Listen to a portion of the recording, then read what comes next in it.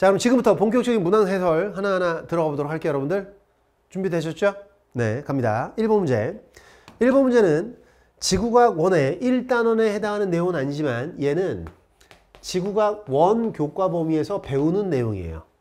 앞으로 여러분들이 챙겨가야 할 내용이다. 됐습니까? 타이틀을 달아드릴게요, 여러분들.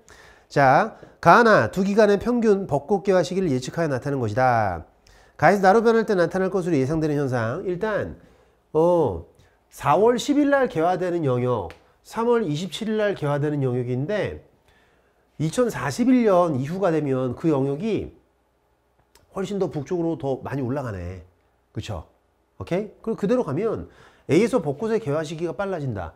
A는 이제 3월 27일이면 벚꽃 피는 거였는데 이때가 되면 잠깐만 3월 27일? 영역보다 바깥쪽이지. 이거는 3월 27일보다 더 일찍 핀, 꽃핀다는 얘기 아니야? 맞죠? 개화식이 빨라지는 거지 이때가 되면. 그러니까 지금 제가 이렇게 노랗게 칠하는 영역은 이때보다도 더 빨리 꽃피는 그런 상태를 의미하는 거예요. 됐습니까? 니은 우리나라 평균 기온 높아지겠지. 지구 온난화 관련된 문제라고. 디귿 우리나라 주변 해역에서 평균 해수면 높이가 높아진다. 자, 기온이 높아지고요. 그러면 수온도 높아지고요. 수온이 높아지면 해의 수면도 상승해요. 수온이 높아지는 만큼 해수가 열팽창을 합니다. 부피가 커져요.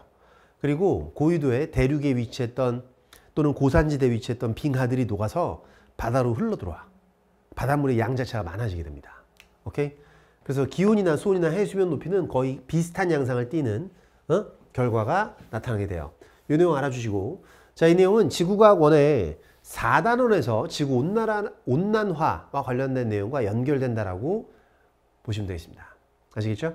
자, 문제가 뭐 크게 어렵진 않았습니다만 어, 한번 잘 챙겨주시고 다음 두 번째 문제 정답 5번 자, 이 문제는 지구과학 원 범위에 해당한다라고 보시면 돼요. 판구조론 관련 문제인데 통합과학에서도 어느 정도 배우고요. 지구과학 원의 일단은 직권의 변동에서도 다루는 내용입니다. 중요한 문제예요. 서로 다른 종류의 판경계 A, B, C 그리고 나는 A, B, C를 구분하는 과정 적당한 질문 여기에 들어갈 적당한 질문을 골라라 라고 시키고 있는데 일단 A는 대류판 대류판의 충돌대야 충돌대 B는 해양판 해양판이 발산되는 발산 경계고요 그러니까 이건 수렴 경계 중 충돌될 얘기합니다 A는 C는 보존 경계를 얘기하는 거지 됐죠? 어. 그러면 기억에 들어갈 거 일단 1번 볼까요? 숫국산맥이 형성되는가? 어? 대류판 대류판 충돌돼서 숫국산맥 만들어졌는데 근데 여기서는 발산 경계에서는 얘랑 얘에서는 안 만들어지잖아요. 그러니까 A만 뽑아낼 수 있는 질문으로는 1번 보기에 들어갈 거 적당한 질문이 되는 거지. 습곡산맥이 형성되는가? 어, 괜찮은 거예요. 됐습니까? 음. 그 다음 1번의 오른쪽 니은 화산 활동이 활발한가? 그 질문을 여기다 넣어봐. 그럼 이쪽으로 내려오는 게 이제 B랑, B랑 C가 내려오는 거잖아요. 화산 활동이 활발하냐? 네 했을 때 B? 아니요 C? 오 이거 맞는데? 정답 1번. 음. 보존 경계에서는 마그마가 생성되지 않아요. 화산 활동이 나타나지 않습니다.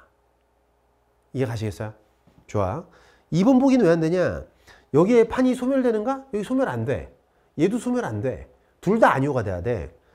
니은의 판이 소멸되는가에 대한 질문은 안 나와요. 안 돼요. 습국삼이 형성되는가도 둘다 습국삼이 안 만들어져요. 응?